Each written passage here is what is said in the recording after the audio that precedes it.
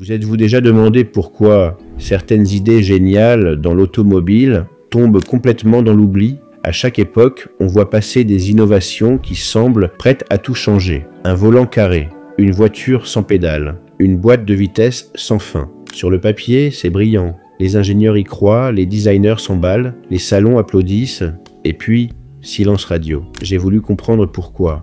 Pourquoi certaines innovations ambitieuses ont-elles échoué malgré leur avance technologique et les millions investis Dans ce top, je vous emmène découvrir 20 idées brillantes qui ont malheureusement fini à la poubelle. Mais avant, si vous aimez nos documentaires sur les voitures françaises, abonnez-vous. C'est gratuit et ça vous permet de soutenir notre petite équipe de créatifs indépendants. C'est parti. Numéro 20, les jantes en alliage léger. Au départ, l'idée semble imparable remplacer l'acier par un alliage léger, principalement d'aluminium, pour alléger les masses non suspendues. Dans les années 80, la jante alu devient l'accessoire fétiche du conducteur exigeant. Cependant, la réalité est plus nuancée.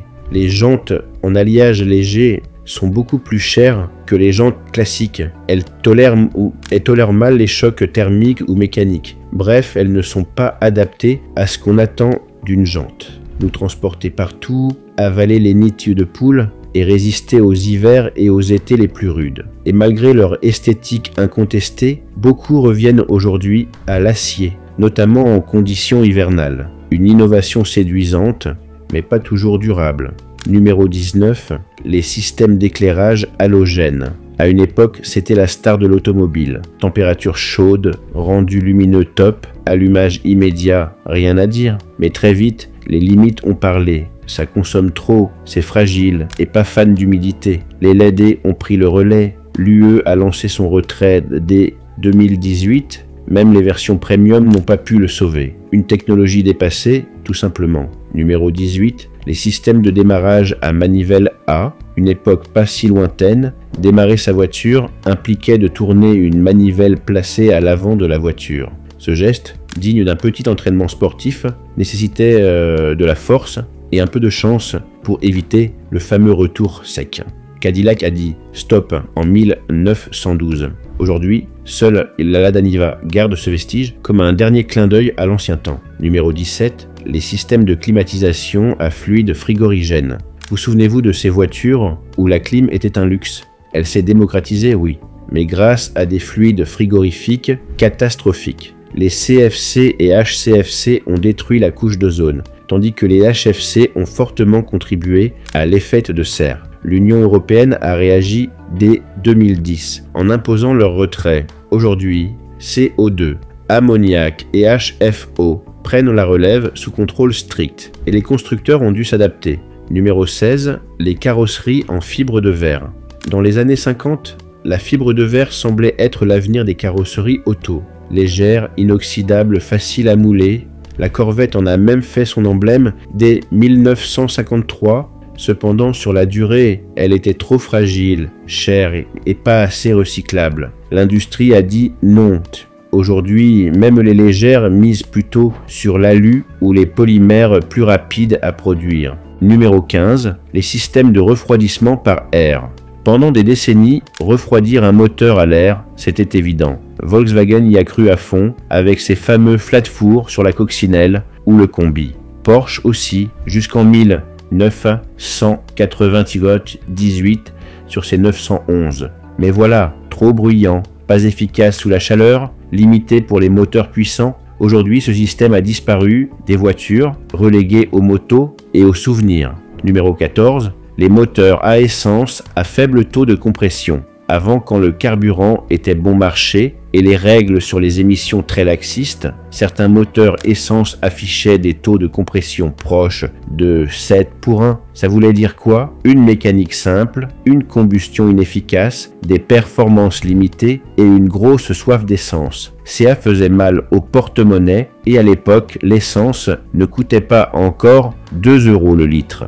Depuis les années 80, cette époque est révolue, car aujourd'hui, moins de 10 pour 1, c'est juste plus possible. Numéro 13, les tableaux de bord analogiques complexes. Pendant longtemps, l'analogique régnait sur les tableaux de bord auto. Avec le temps, c'est devenu le bazar. Trop d'aiguilles, trop de cadrans, Trop d'infos dispersées. Dans les années 80, Citroën, Saab ou Fiat ont tenté des designs futuristes, mais pas toujours pratiques. Sur la Renault 11 électronique, la voix synthétique et les écrans LCD faisaient le show et distrayaient plus qu'autre chose. Aujourd'hui, le numérique a pris le lead, clair, épuré et super intuitif. Numéro 12, les ceintures de sécurité à enrouleur. Vous imaginez une ceinture qui bouge avec vous? Aujourd'hui, ça paraît logique, mais à ses débuts dans les années 70, l'enrouleur a fait parler de lui. Peur qu'il coince en cas d'accident. Soupçon de blessure à cause des prétentionneurs.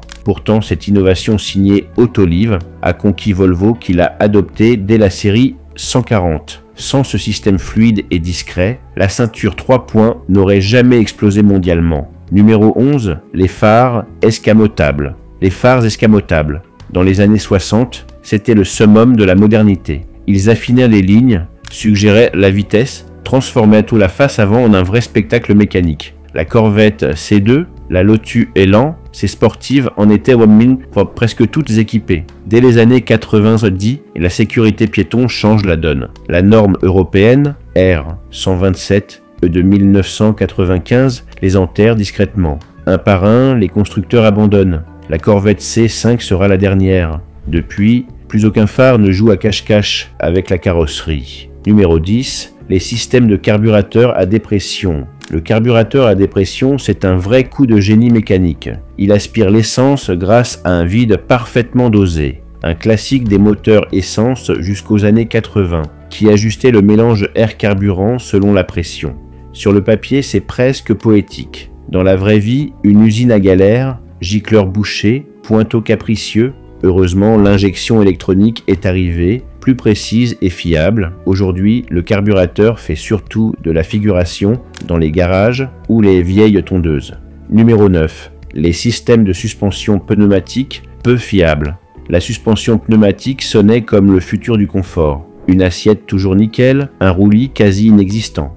Cependant, sur les berlines allemandes des années 2000, c'était souvent la galère coussin d'air qui fuit, compresseur HS, capteur à la dérive, le tout géré par une électronique capricieuse, intolérante à la moindre panne. L'Audi A6 C5 et les premières Mercedes classe S en ont fait les frais. Aujourd'hui, l'air reste un pari risqué et beaucoup préfèrent, et beaucoup préfèrent la simplicité du bon vieux ressort en acier. Numéro 8. Les systèmes de direction à bras tirés. À une époque, les systèmes de direction à bras tirés étaient la solution simple et économique. Mais attention, cette simplicité avait un gros point faible. Les problèmes s'accumulaient au fil des kilomètres. Quand les cylindres blocs lâchaient ou qu'une rotule coinçait, la voiture devenait difficile à maîtriser. Souvenez-vous des Peugeot ou Opel des années 80 qui tiraient toujours d'un côté, même après réglage et ses bras tirés ont vite été remplacés par des systèmes plus solides, précis et durables. Numéro 7. À la fin des années 1960, les constructeurs automobiles américains ont popularisé une tendance aussi spectaculaire qu'inutile, les ailerons arrière géants.